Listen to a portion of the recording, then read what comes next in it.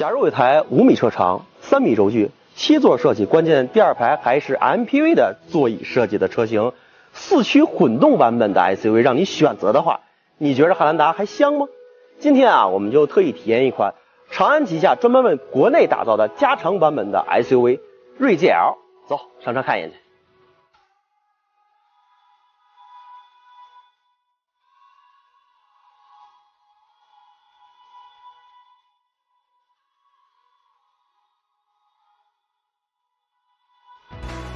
要知道啊，今天我开了三百二十一公里，那么它纯电的行驶里程呢就高达一百一十三公里，那么实际的占比已经达到了三分之一的水准。那么一台二点零 T 的一个动力版本，那它实际的续航表现啊就已经达到了六点三升的成绩，这跟官方宣称的成绩呢是一致的。所以他说的能达到一千公里的续航表现，我相信是真实的。那么在实际驾驶中啊，这个低速状态啊是一套。纯电形式的一个驾驶逻辑，那么在中速下呢，它是一套增程式的一个表现形式。那么在中高速的时候呢，那发动机就会介入，与电机共同作用在车里头，最终实现了一个七点一秒的百公里加速。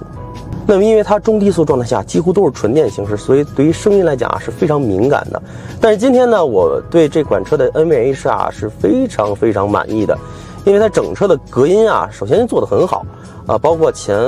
风挡以及两侧的玻璃都是采用了一个加厚玻璃的处理，而且呢，前机盖处的啊，不管是机舱盖还是轮拱处的隔音棉啊，都是加厚的处理。同时呢，它在车内部还加入了一个带主动降噪 ANC 的 BO 音响，以及呢，在底盘的隔音啊也做得很到位，所以整个车的隔音表现是很好的。首先是方向盘部分啊，这个大小很适中，而且呢，它是支持一定的虚位，但是它的转向的指向性很精准。呃，其次呢，就是这个悬挂方面，它的设定是很运动化的调教，但是在中段这种回弹上有一定的负荷感，所以你会感受到它的啊这种多年的在悬挂方面调教的一些功力。那么再说这台车的智能驾驶辅助啊，这个首先官方宣称它达到了 L 二级加的水准。首先呢，这个加我理解为就是肯定有更多的功能表现。那么这台车呢是具备了一个车道居中的一个驾驶辅助，那么同样呢，它还具备了一个自主变道的这个功能啊。那当我们在实际驾驶中呢，向左打转向，它正常就会哎自主的去变向车道。那么同时呢，当我并道的车道有车的时候，它会进行一个啊取消。呃，当然，假设右道线或左道线是一个实线。它也会及时的进行一个判断和纠正，所以这一点啊还是非常智能的。咱们啊一会儿找地儿靠边停车了，聊聊外观跟内饰。好，我们现在再回顾一下这个车的外观啊。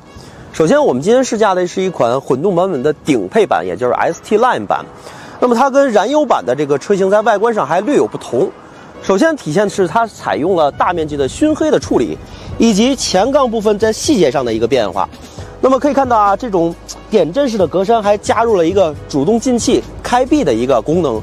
那么同样在灯组部分啊，这种加速感十足的贯穿式的 LED 前大灯，还加入两个等号这种增强视觉感受的这种设计啊，我觉得还挺好看的。那么在车侧部分呢，我觉得这个黑色的这种面积装饰就更多了。其实它很好的降低了这种车的视线的一个重心感受。那么同样，这个 L 啊，实实在在加在这个 C 柱下方，而且采用了一个波浪式的处理，再加上这个弹出式的门把手啊，这车看上去很像一款电动车。那么再加上这个硕大的轮毂，二十一寸的，啊，米其林的这个皓月的轮胎。那么油车版呢，配备的是一个倍耐力蝎子胎二十寸的，所以两款轮胎呢，说实话规格都不低，价格也不菲。那么尾部呢，其实它还是采用了一个与车头呼应的一个贯穿式的尾灯，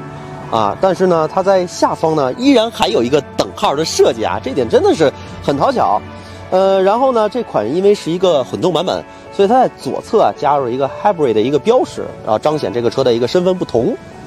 好，坐在车内啊，这个内饰部分真的是家族感十足。但是呢，也与其他的呃福特系的车呢略有不同。首先，就这块大连屏啊，这个二十七寸的一个巨幅的横屏，它与十二点三英寸的这个仪表盘啊进行了一个区隔，它有一个凹凸的设计。这一点设计有什么好处呢？就是在这种昆明光线特别强的地方，我们开车会遇到很多这种洒进来的光线，它会很好的去进行一个遮挡，去避免你啊影响你读取它上面的一些驾驶的信息。那同样，这个方向盘啊，它采用了一个上下都平底的设计，其实更多的是为了彰显它的运动的一个啊特性。呃，那么在整个的屏幕的中间呢，它做了一个分屏的处理。呃，首先呢是一个 Sync 加2.0的一个车机，那加入了一个百度的一个地图，同时呢，它可以通过语音进行一些重要指令上的一个执行。呃，它取消掉了很多很多的按键的一些设置，仅留下了在左侧下方一个灯光的实体按键。所以啊，当呃驾驶员想去设置地图或者一些娱乐性的一些信息的时候呢，其实可以把这个工作通过三指飞屏，哎，交给副驾。那么副驾呢，当调整完这些设置之后呢，也可以三指飞屏再投射到中间这个屏幕上，这点非常人性化，也省去了驾驶员在驾车过程中的一些。不必要的分神。那整车最贴心的部分就是我个人比较喜欢的这个充电板，就是很多。呃，前排有一个，后排中间部分还有两个，所以就加上这个 Type C 以及 USB 传统的接口啊，一家老小去坐在车内去进行一些啊这种充电板啊这种呃电子设备的一些充电，其实不成问题。那么最重要的还是乘坐方面啊，我觉着就是你看。这个头枕的造型很有意思，前后排座椅的头枕啊，也是采用一致的这种设计。那我们今天呢是呃试驾的这个 ST Line 版本，也就是它顶配版本，所以它采用的是一个翻毛皮的设计。那么在燃油车版本上呢，它是一个真皮的一个处理。那真皮座椅也具备了一个座椅通风的功能。呃，但我们今天这个翻毛皮啊，真的就是你在这个夏天的时候，其实它的透气性是非常好的，而且看上去的档次也很高。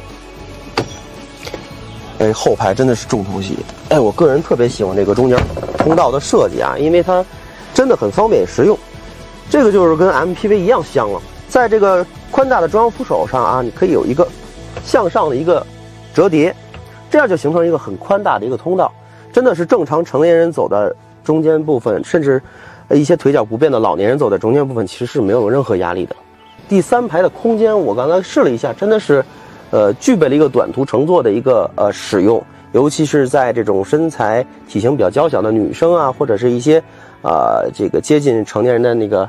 孩子呀，其实坐在后排做一个应急的处理，其实，呃，真的是完全没有问题。那么当然了，这个第二排的腿托部分真的是很多 SUV 都不具备的啊，而且是电动调节，在长途这种乘坐过程中呢，其实它会很好的去卸掉你腿部上的一个压力，可以提高你的腿部循环。所以你乘坐起来的话呢，舒适感会更强。那么看完这款锐界 L 之后呢，还想在这个级别进行选择的话，我觉着更推荐汉兰达还是理想呢？其实，我觉得这需要你的个人喜好和这种驾驶风格的取向，自行去判断，不必纠结。我呀，接着在这 VIP 座位上眯一会儿了，咱们下期接着聊，拜拜。